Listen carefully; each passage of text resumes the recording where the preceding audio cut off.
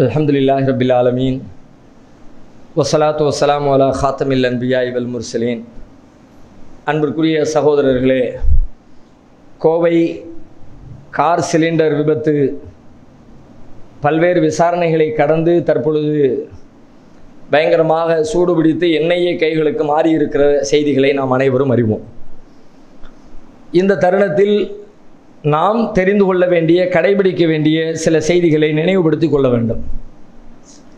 இன்றைக்கு இருக்கிற மத்திய அரசு முஸ்லீம்களை என்ன செய்யலாம் எப்படி கருவறுக்கலாம் முஸ்லீம்கள் மேலே எப்படி பழி போடலாம் முஸ்லீம்களை எப்படி ரெண்டாங்குந்தர குடிமக்களாக ஆக்கலாம் இந்த சொந்த நாட்டில் அகதிகளாக மாற்றலாம் அல்லது இந்த நாட்டில் குடியுரிமையற்றவர்களாக ஆக்கலாம் என்பதற்கு என்னென்ன வேலைகள்லாம் உண்டோ எல்லாத்தையும் செஞ்சுக்கிட்டே இருக்கிறாங்க இன்னும் செய்வாங்க. அதெல்லாம் எதையும் நம்ம அச்சப்பட வேண்டிய அவசியம் இல்லை. ஏனெனில் ஒரு மூமினுக்கு இது சந்தித்தே தீர வேண்டிய கட்டாயம் இது. இந்த துன்பங்களை எல்லாம் கடந்து தான் நாளை மறுமையில் நாம் சொர்க்கம் போகணும். எந்த துன்பத்தையும் அனுபவிக்காம எந்த கஷ்டத்தையும் சந்திக்காம நாளை மறுமையில் சொர்க்கம் போயிடலாம்னா அது வெறும் பகல் கனவு. ஏன்னா சொர்க்கம் எப்படிப்பட்டது நபிகளார் சொல்கிறார்கள் ஹொஜிபத்தில் ஜன்னத்து பில் மக்காரிகி சுவர்க்கம் என்பது சிரமங்களால் சூழப்பட்டிருக்கிறது. ஹொஜிபத்தின் நாருவி சகவாத்தி நரகம் என்பது இச்சைகளால் சூழப்பட்டிருக்கிறது. இன்பமான விருப்பமான மகிழ்ச்சியான வாழ்க்கையை மட்டுமே நாம் வாழ்ந்து கொண்டிருக்கிறோம் என்றால் நரகத்தின் பாதை எளிதாகி கொண்டிருக்கிறது என்று பொருள்.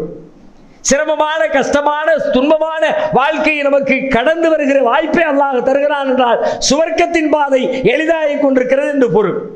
அதனால் இவர்கள் தருகிற துன்பத்திற்கோ இவர்கள் கொடுக்கிற கஷ்டங்களுக்கோ இவர்கள் போடுகிற திட்டங்களுக்கோ நாம் அஞ்ச வேண்டிய அவசியமே இல்லை. மகரு மகரல்லா ஒல்லாஹு ஹைருல் மாக்கிரீன். அவர்களும் சூழ்ச்சி செய்கிறார்கள். அல்லாஹும் சூழ்ச்சி செய்கிறான் சூழ்ச்சியாளர்களில் அல்லாகவே ஆக சிறந்தவன் என்று திருமறை குரான் சொல்கிறது எனவே நம்ம எதிர்பார்த்துறோம். எதிர்பார்த்துட்டோம்னா இதை பற்றி கவலைப்பட வேண்டிய பெரிய மனசில் அலட்டி பயம் பயம் கொள்ள வேண்டிய தேவையே இல்லை. ஒன்று அதே நேரத்தில் சமுதாயம் புரிந்து கொள்ள வேண்டிய நம்முடைய பிழைகளால் நம்முடைய தவறுகளால் நம்முடைய குற்றங்களால் நமக்கு துன்பங்கள் வரக்கூடாது. இது மாதிரியான நெருக்கடிகளுக்கு நம்முடைய தலையிலே நாம மண்ணெல்லி போட்டுக் கொள்கிற வேலைகளில் ஈடுபட்டு விடக்கூடாது. ஒரு காலத்திலேயும் தீவிரவாதம் என்பது பிற உயிர்களை மாய்க்கிற அல்லது குண்டு வைக்கிற தீவிரவாத செயல்கள் என்பது எந்த சமூகத்திற்கும் நன்மையை பெற்றுத்தராது. குறிப்பாக முஸ்லிம் சமுதாயத்திற்கு நாம் வாழ்கிற இந்த தேசத்தில் எந்த நன்மைகளையும் பெற்றுத்தராது. வேற எவையெல்லாமோ செஞ்சுட்டு நம்ம மேல பழிய போடுவான். ஆனாலும் அவர்கள் எதிர்பார்ப்பதெல்லாம் இந்த மாதிரி பழிய போட்ட உடனே கொந்தளிச்சு வேற மாதிரி நிகழ்வுகள் மாறி தமிழ்நாடு வடமாநிலத்தை போல மாற வேண்டும் என்று இவர்கள் எதிர்பார்க்கிறார்கள். ஒரு கட்டத்திலே நாம பொறுமை இழந்து விடவே கூடாது. பொறுமைக்கு நிகரான எந்த ஒரு நன்மையும் உலகத்தில் கிடையவே கிடையாது. அசபருலியா பொறுமை என்பது ஜோதி என்றார்கள். பொறுமையை போல விசாலமான நன்மை எதுவும் இல்லை என்றார்கள் நபிகளார் நாம் பொறுமையோடும் விவேகத்தோடும் இந்த பிரச்சனையை அணுகணும். நாம் எத்தனையோ காலங்களாக சொல்லிக்கிட்டு இருக்கிறோம். இந்த மாதிரி தீவிரவாத காரியங்களுக்கு எங்களுக்கு சம்மதம் இல்லை. யார் யாரெல்லாமோ செஞ்சுட்டு எங்கள் மேலே பழிய போடுறாங்க. ஆனாலும் அந்த செய்தி எல்லா மக்களுக்கும் போய் சேரும். எத்தனை தடவை கூட்டம் போட்டாலும் முஸ்லீம் அல்லாத மக்களை கூட்டி வச்சு நீங்கள் எத்தனை கூட்டங்களை போட்டாலும் அதில் ஒரு ஐம்பது பேர் ஒரு நூறு பேருக்கு இந்த செய்தி புது செய்தியாக இருக்கிறது. ஏன்னா நம்ம சொல்கிற செய்தி எல்லா மக்களுக்கும் போய் சேர்ற அளவுக்கு மாஸ் மீடியா நம்ம கையில் இல்லை. நம்ம கையில் அதிகாரம் இல்லை. நம்ம கையில் அரசு இல்லை. நாம சொல்லுகிற பத்து பேருக்கு இருபது பேருக்கு மட்டும்தான் அந்த செய்தி கிடைக்குது. ஆகையினால பொறுமையோடு இருப்பதும் இது மாதிரியான சந்தர்ப்பங்களில் உணர்ச்சி வசப்படாமல் இருப்பதும் இது மாதிரியான சந்தர்ப்பங்களில் வெறும் அறிவார்ந்த வகையில் நம்முடைய அணுகுமுறைகளை அமைத்துக் கொள்வதும் மார்க்கம் நமக்கு போதிக்கிற முக்கியமான கடமைகள் உள்ளது உணர்ச்சி வசப்பட்டோம் காரியம் கேட்டோம். கோயம்புத்தூருடைய நிகழ்கால வாழ்க்கை நமக்கு ஒரு பெரிய சான்று.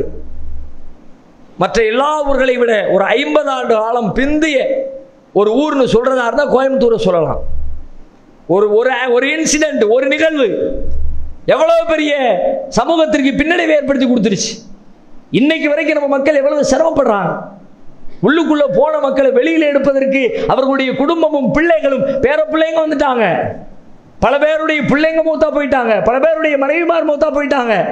பல குடும்பங்கள் செதஞ்சு சின்ன பின்னம் ஆயிடுச்சு. இன்னும் மிச்சம் இருக்கிறவர்கள் நம்பிக்கையை மிச்சமாக கையில வைத்துக்கொண்டு மேலும் மேலும் மேலும் அவர்களின் விடுதலைக்காக போராடி கொண்டே இருக்கிறார்கள். கண்ணுக்கு முன்னாடி இதை பார்த்துட்டு திரும்பவும் நான் உணர்ச்சி வசப்படுவேன்னு சொன்னா நாம புத்திசாலிகளா அறிவால் யோசிக்கணும். அதனால் அறிவார்ந்த அடிப்படையிலே இது போன்ற விஷயங்களை எதிர்கொள்வதும் நம்முடைய உணர்ச்சிகளை தூண்டு நினைக்கிற இந்துத்துவ பாசிச சக்திகளுக்கு இரையாகிவிடாமல் ஜனநாயக வழியிலேயும் மார்க்க அடிப்படையிலேயும் நம்முடைய சிந்தனைகளையும் அறிவையும் கூறுதீட்டி கொண்டு செயல்படவும் முயற்சிக்க வேண்டும். அல்லாஹ் ரபுல் ஆலமீன் அப்படி செயல்படுகிற நன்மக்களாக நம் அனைவரையும் ஆக்கி அருள்வான